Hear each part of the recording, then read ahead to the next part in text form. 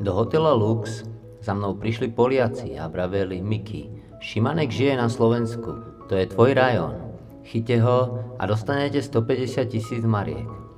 Potom sa vrátili koncom júla 1997. Vtedy prišli aj s ďalším chlapom, ktorý sa predstavil ako Leon. Na druhom stretnutí navrhli, že by sa to dalo urobiť koncom augusta. Šimanek išiel na celé leto na dovolenku do Talianska aj s rodinou.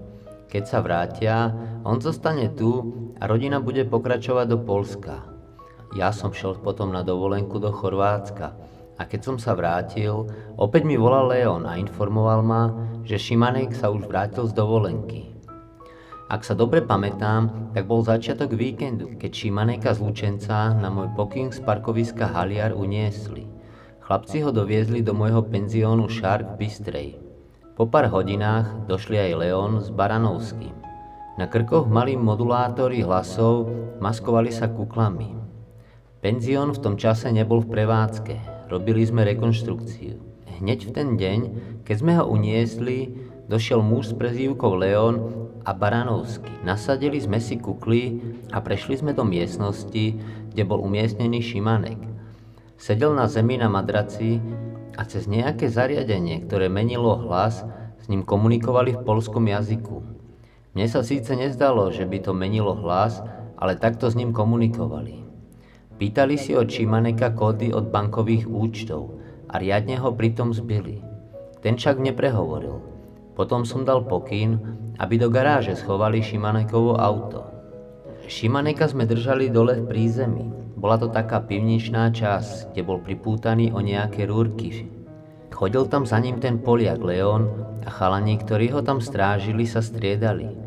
My s Janom Kánom sme boli v Bystrici, ale Jano tam bol častejšie, pretože dával na chalanov pozor. Keď sa to naťahovalo na 4 dní, pýtal som sa Leona, čo sa deje. My sme si svoju prácu urobili a aby nám boli vyplatené tie nemecké marky, na ktorých sme sa dohodli, aby sme mohli Šimaneka prepustiť.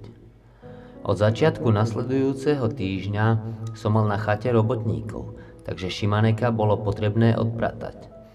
Najprv sme ho skryli na chate v Krpáčove, ktorú zohnal Andrej Ambrós. Chata bola požičaná od Michala Strmeňa.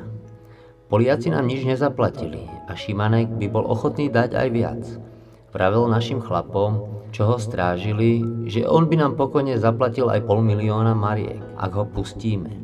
Jano Kán mi predniesol požiadavku od Čimaneka, že je ochotný za prepustenie nám zaplatiť pol milióna mariek. Vraj vedel, kto je za jeho únosom, takže radšej zaplatí nám, keď mu vrátime všetky veci. Vraj sa nemusíme báť, že ho hľadá Interpol. Jano Kán povedal, že bol priamo pri telefonáte, keď Poliak kontaktoval svojich blízkych aby pre nás pripravili výkupné. Povedal to tak, že je to isté, že mu dal svoj telefón. My sme zabezpečili cez nejakú bystrickú firmu nejaké telefóny, ale na Krpáčove, kde bol umiestnený Šimanek, bol slabý signál a z tých Nokií, ktoré oni používali, sa niekedy nedalo volať. Ja, Kán a Kaštán sme mali vtedy tie veľké telefóny s takými anténkami a z tých sa lepšie volalo.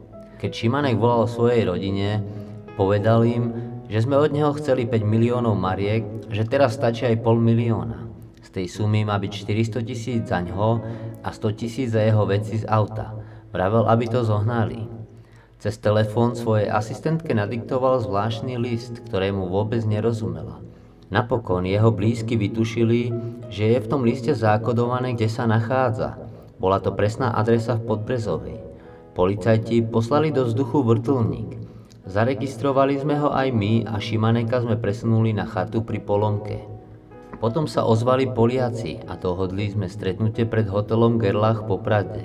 Oznámili nám, že vedia, že s ním vyjednávame mimo dohody a chceme ho za peniaze pustiť. S Poliakmi sme sa rozprávali ja, Janokán a Peter Šipula. Tam nám povedali, že ich šéf Baranovský nemôže dojsť, pretože akcia sa prezradila a on je podozrivý z únosu. Tak vraj poslal ich. Tiež nám s takou výčitkou povedali, že vedia, že sme si dohodli poza ich chrbát výkupné pol milióna mariek, lebo že Baranovský má v dome Šimaneka svojho človeka, ktorý ho informuje o priebehu únosu od začiatku. Tiež vedeli, že rodina kontaktovala polskú prokuratúru a tá zase slovenskú políciu. Tam padlo rozhodnutie, že musíme upratať stopy. Vtedy Jano drgol do mňa, aby sme išli na bok. Povedal mi, vidíš, čo ten smrad urobil. Myslel tým Šimaneka, že nás oklamal a že nám tých pol milióna mariek nikdy nechcel vyplatiť. Na to zareagoval, že je to prúser a že jediná možnosť je zahladiť stopy a Šimaneka zlikvidovať. Ja som mu na to povedal, jasne, že je to prúser, lebo mu dal ten svoj telefón. Zavolal som Karola Kolárika, aby prišiel do Brezna, že máme nejakú prácu. Karči došiel aj s Alexandrom Horvátom. Východňarom sme najprv povedali, že máme v chatke jedného Poliaka, ktorého pred nimi postrašíme. Šimaneka strážili vždy minimálne traja. Ja a Kán sme sa išli prezliecť domov a potom sme sa presunuli na chatu. Jedným z mužov, ktorý sa na poprave zúčastnil, bol aj garant z polskej strany, akýsi Juzek. Na chate to tesne pred vraždou vyzeralo ako niekde na námestí. Šimaneka stražil Miloš Piliar, Jan Handula, Andrej Ambrós, Slavosúrovi tam pobehoval, tiež Milan Sklenár, Peťo Šipula, Kalor Kolvárik, Alexander Horvát a bol som tam samozrejme ja a Jano Kán. Povedal som chlapcom, nech vykopú jamu. My sme zatiaľ čakali v chate. Počas kopania šel Jano Kán postrašiť Šimaneka. Mal ho tam zbiť, no pritom som ja nebol. Keď bola vykopaná jama, dal som Šimaneka dotiahnuť vonku. Zakrýval si oči a kričal niečo ako, že nikoho nevidí, že nás neusvedčí, alebo také niečo. Už sme nemali kukly a on vedel, že je zle. Pri jame ležal Poliak na zemi so spútanými rukami za chrbtom a ja som sa ho opýtal, či dá peniaze. Povedal, že dá. Prikázal som mu otvoriť ústa, vložil som mu pištol do úst a vystrelil som. Následne som zbraň podal Jánovi Kánovi a ten strelil Šimaneka niekde do hrudníka. Peter Šipula následne vyzliekol Poliaka a zhodil ho do vykopaného hrobu, ktorý mal asi 2 metre. Prikázal som zahrabať jamu. Šipula ešte hodil na Šimanekovo telo balvan, aby ho zaťažil. Poliak Juzek bol dosť vykolajený. Celý večer nič nehovoril, len pil jeden pohárik za druhým, ako by bol na takej akcii prvýkrát.